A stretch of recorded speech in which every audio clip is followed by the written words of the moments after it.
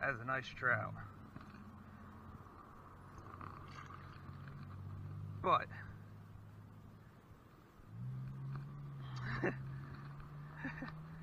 not superstitious, but man, Friday the 13th and fishing, and to sink this freaking crayfish down in my finger twice. Look at that. My goodness.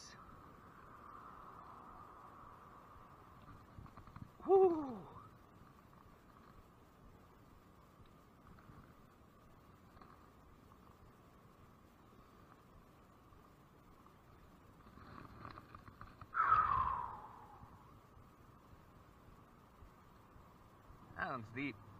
I'm not cutting that one out.